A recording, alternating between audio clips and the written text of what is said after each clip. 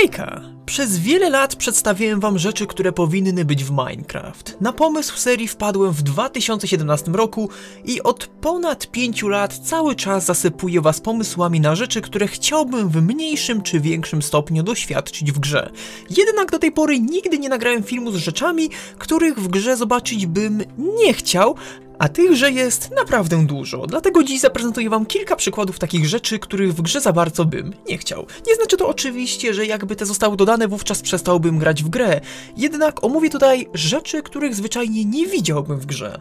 Na pewno wiele was zgodzi się z moją listą, ale też spora część z was może mieć odmienne zdanie na temat niektórych rzeczy, więc chętnie poczytam w komentarzach z czym się zgadzacie, a z czym nie. Więc zacznijmy tę listę.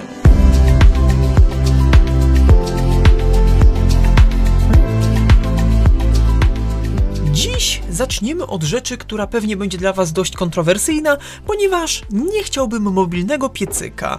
Zasada działania byłaby prosta. Postawiony blok działałby jak normalny piecyk, czy to w wariancie zwyczajnym, wędzarki czy hutniczym. Po włożeniu do niego paliwa i materiału do przepalenia normalnie nastąpi proces obróbki termicznej jedzenia czy przetapiania metali, jednak niczym Shulkerboxa byśmy mogli zabrać ze sobą blok, a cały proces przepalania odbywałby się u nas w ekwipunku. Brzmi świetnie, prawda? I najpewniej takie coś działałoby na zasadzie Shulkerboxa, więc być może i muszle Shulkera zyskałyby kolejne zastosowanie. Zatem skoro to takie fajne, to czemu bym tego nie chciał? Mam wrażenie, że cała magia piecyków w grze to przepalanie przedmiotów w naszym pobliżu, czyli na załadowanych czankach. Znacie z pewnością to uczucie, gdy macie do przepalenia mnóstwo rzeczy i czekacie w pobliżu tych piecyków, aż skończą się one przepalać. Możliwość zabrania tego byłaby z pewnością ułatwieniem, jednak moim zdaniem nie pasuje to do gry, ale jak wspomniałem, to tylko moja opinia. Zwyczajnie nie czuję, by to pasowało do gry. No to skoro już o piecychach zacząłem, przejdźmy do rzeczy, z którą z pewnością większość z Was się nie zgodzi. Proszę, nie zostawiajcie łapek w dół, bo to tylko moja opinia. A mianowicie, przepalanie pełnych bloków surowej rudy na pełne bloki. W grze mamy trzy takie bloki. Blok surowego żelaza, blok surowej miedzi i blok surowego złota. Więc czemu tego nie chcę? Przecież to nam zaoszczędzi czas i paliwo. No właśnie dlatego. Uważam, że byłoby to dość duże ułatwienie i przepalanie pojedynczych sztuk surowego minerału wówczas tak naprawdę nie miałoby sensu.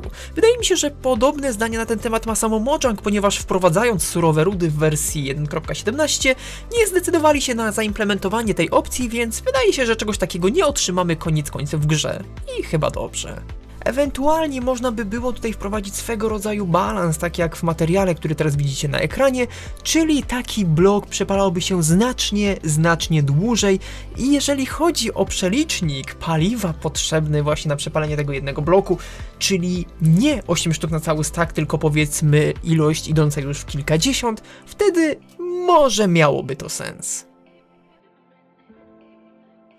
Jeśli podoba Ci się ten film i chcesz kontynuację, koniecznie zostaw łapkę w górę. Nie zapomnij zasubskrybować, by tejże kontynuacji nie pominąć. Dzięki! Rzecz, na którą bym się obraził na Mojang, jeśli zdecydowaliby się ją wprowadzić do gry. O czym mówię? O systemie nawadniania. Wprowadzony w becie 1.8 system głodu zmienił Minecrafta na dobre. Wcześniej jedliśmy jedzenie i natychmiast utracone serduszka pojawiały się z powrotem. Już teraz bywa to irytujące, gdy poziom głodu zejdzie poniżej trzech jednostek. Wówczas na przykład nie możemy sprintować, a gdyby doszedł kolejny system, o który należy ciągle dbać, czyli picie, to byłoby już bardzo irytujące. Nie wspominając już o slotach w ekwipunku, których teraz potrafi zabraknąć, zwłaszcza, że tak jak jedzenie jedzenie, picie musielibyśmy mieć ciągle pod ręką, czyli w pasku szybkiego wyboru. Oczywiście, najpewniej gdyby ten system został wprowadzony, wraz z nim zostałyby wprowadzone stakujące się butelki wody, tak jak w propozycji nowej aktualizacji walki stakują się mikstury, ale to dalej jeden ważny slot byłby niestety zajęty. Mam nadzieję, że Mojang nigdy nie podejmie decyzji o dodaniu tego systemu, który dla mnie byłby kompletnie niepotrzebny. Oczywiście ja lubię, kiedy Minecraft staje się trudniejszy, zresztą zobaczycie to po tym materiale, ale że większość zaproponowanych rzeczy, których w Minecraft nie chce, są to rzeczy, które jakkolwiek tę grę ułatwiają. Jednak w tym przypadku to nie byłoby zrobienie gry trudniejszą, tylko bardziej irytującą. Ktoś może powiedzieć, że dałoby się to dobrze zaimplementować, na przykład na pewnych biomach trzeba byłoby pić, bo tam jest gorąco, jak na przykład na pustyni. I super, że o tym mówimy, bo nie chciałbym w Minecraft systemu odczuwania temperatury. To kolejny system, który nie tyle, żeby utrudniał grę, tylko sprawiałby, że ta stałaby się irytująca. Wspomniałem o pustyni. Tutaj wyglądałoby to najpewniej tak, że dłuższe przebywanie w dzień na powierzchni powodowałoby potrzebę nawadniania, co wiązałoby się z systemem nawadniania, ale za to w nocy moglibyśmy otrzymywać obrażenia od zimna, gdzie temperatura po zajściu słońca na pustyni może spadać nawet do 0 stopni. Kwestia zimnych biomów, gdzie gra wymagałaby od nas odpowiedniego ubrania, np. skórzanej zbroi, bo inaczej po dłuższym przebywaniu też dostawalibyśmy obrażenia od zimna. Myślę, że te dwie rzeczy, tak jak grawitacja w tej grze, nie są kompletnie potrzebne i brak odczuwania temperatury, czy też brak wspomnianej grawitacji są pewnego rodzaju pięknym urokiem Minecrafta. Transport w Minecraft to dość delikatna kwestia. Mamy transport zwierzęcy dzięki świniom, koniom, osłom, mułom, lamom, striderom, czy od wersji Minecrafta 1.20 wielbłądom. Jest też transport wodny dzięki łódkom i oczywiście kolejowy dzięki wagonikom i torom. Ale to wszystko i tak przegrywa z Kretesem pod względem wygody i prędkości podróżowania z Elytron. Ale dlaczego to mówię?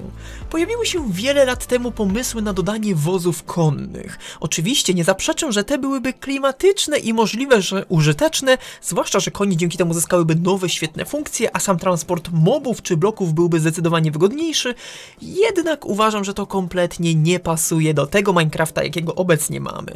Nie oszukujmy się, by to mogło jakkolwiek działać, wspomniane wozy musiałyby mieć zawarte w swoim modelu kółka. Koła w kwadratowej grze niespecjalnie pasują. Oczywiście, uczciwie trzeba przyznać, że już mamy pojazd z kółkami w grze, jakim jest wagonik, ale tamte są tylko symboliczne na teksturze, bo na dobrą sprawę wagonik to tylko szara skrzynia, która sunie po torach. Tutaj te musiałyby mieć swój model i animację, co uważam kompletnie do Minecrafta nie pasuje. Byłbym w stanie to jakoś zaakceptować, jeśli te pojawiałyby się w wioskach jako statyczny model, na którym wyłożone są dobra na handel, jednak jako transport dla mnie to nie pasuje. Jakiś czas temu trafiłem na pewnego shorta na polskim YouTubie, gdzie zaproponowany został enchant Wizja Rudy, czyli legalny X-Ray. Miałoby to działać w niemal identyczny sposób jak zwyczajny X-Ray znany z modów czy resource packów. O tym jak bardzo absurdalne to się wydaje chyba nie muszę mówić, jednak jak się zdziwiłem, niemało graczy bardzo by takie coś chciało w grze cheat, jakim jest X-Ray, nie oszukujmy się, ale psuje całkowicie sens wypraw do kopalni, kiedy doskonale wiemy co gdzie konkretnie się znajduje. Dodanie takiego oszustwa jako mechaniki gry byłoby zwyczajnie absurdalne. Przed wersją 1.18 szukanie np. diamentów było niebywale łatwe, bo wystarczyło kopać przed siebie na 12 kratce. Po zmienieniu generatora już samo kopanie aż tak łatwe nie jest, ponieważ drążymy w Deep Slate, który jest nie tak łatwy do wykopania jak kamień, ale nie znaczy, że od teraz diamentu szuka się niesamowicie trudno. Szukanie diamentów stało się inne. Znalezienie dużej jaskini nie stanowi problemu, a po wypiciu Night Vision okazuje się, że w kilka minut możemy znaleźć ogromne ilości ród diamentów. Ułatwienie tego takim oszustwem jak X-Ray jako mechaniką gry zwyczajnie nie ma sensu. Jeśli już Mojang chciałoby wprowadzić coś takiego, to można by było to zrobić na zasadzie moba, który biegnie w kierunku najbliższej wyznaczonej rudy, którą jakby wyczuwa przez ściany, ale bez bezpośredniego doprowadzenia nas do niej, tylko wskazania kierunku, w którym najlepiej szukać. Coś tak jak my szukamy jaskiń po dźwiękach, na przykład lawy, albo właśnie przedmiot, który im bliżej danej rudy się znajduje, tym głośniejszy wydaje dźwięki albo wibracje podobne do skalku. To też byłoby ułatwienie i to znaczne i takiego czegoś również bym w grze nie chciał, aczkolwiek jeśli już coś takiego miałoby się pojawić, to z pewnością mnie jako zaklęcie dające nam X-Raya, to bez sensu.